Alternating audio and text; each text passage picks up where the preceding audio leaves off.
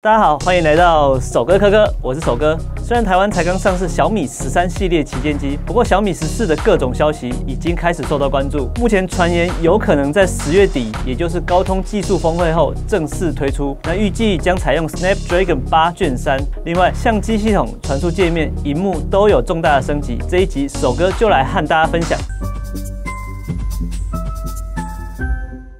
在进入正题之前，先帮我在这个影片点个赞，让我知道你对这个主题有兴趣。那现在我们开始喽。根据微博博主诸位闲聊站的发文，延续小米十三的伏羲和小米十三 Pro 的女娲代号命名。这次小米最新旗舰机小米十四和十四 Pro 的开发代号是后继和神农，那也象征着小米的扎根和丰收。主打外观、影像以及体验都有大幅提升，期望可以以体验为王、颜值为王、徕卡为王，当做是这一代新品的目标。就让我们来看看小米十四系列会有哪些规格的变动吧。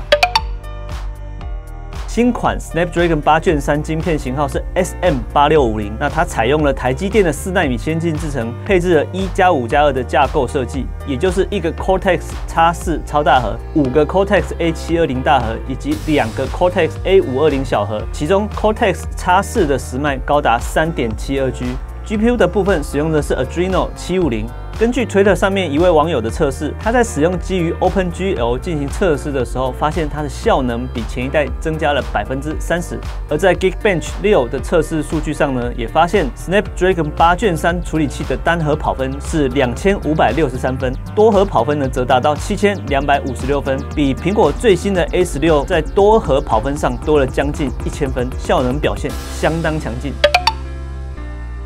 在荧幕方面，根据推的网友 Universe Eyes 指出，小米十四可能搭配由中国华星制造的六点三六寸 AMOLED 荧幕。那它最大的特色是可以做到一 mm 的极窄边框，这个特色可以让它大幅的提高荧幕占比。而小米十四 Pro 则预计会采用三星制造的一七 AMOLED 荧幕，荧幕解析度最高可以达到两 K，那最大亮度也可以达到两千尼特，非常亮，可以让你在夏天在外面都可以看得清楚。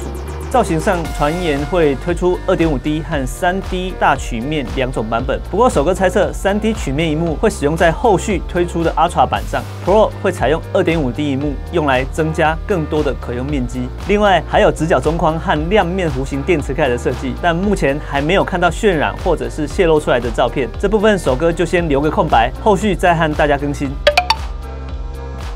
再来看到相机的部分，最近这几年小米和徕卡有非常多的深度合作，也让很多人体会到徕卡相机它独特的来味。根据 Twitter 网友 kakisi 的爆料讯息。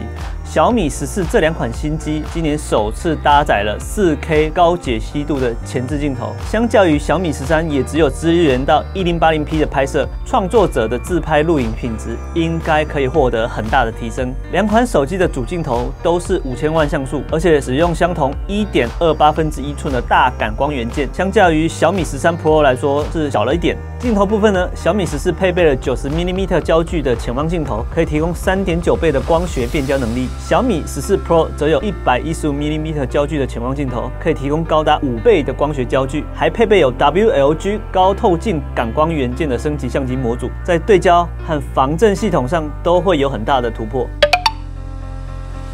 当代手机电池容量越来越大，如果没有快充的搭配，手机就和哑铃没两样。根据又是 Kaki 在推特上面的分享，小米十四系列将首度支援 USB 三点二。那你知道小米十三 Pro 搭载的还是 USB 二点零界面，被网友骂翻了吗？明年的小米十四就直接上 USB 三点二，传输速度直接翻了十倍，达到五 Gbps，够阿萨里了吧？供电部分，小米十四将搭载四千八百六十毫安时的电池，并且支援九十瓦的有线快充以及五十瓦的无线充电。小米十四 Pro 则搭载更大的五千毫安时电池，并且支援一百二十瓦的有线快充以及五十瓦的无线充电。那这边首哥也提醒一下，现在手机充电的速度越来越快，如果你还在用三四年前的充电产品，不想让手机电源被榨干的话，现在也该升级一下了。改天首哥会再做一集市售大瓦数充电器的比较给大家参考。虽然距离小米十四的上市还有一段时间，不过我们可以从这些爆料讯息来看到一些端倪。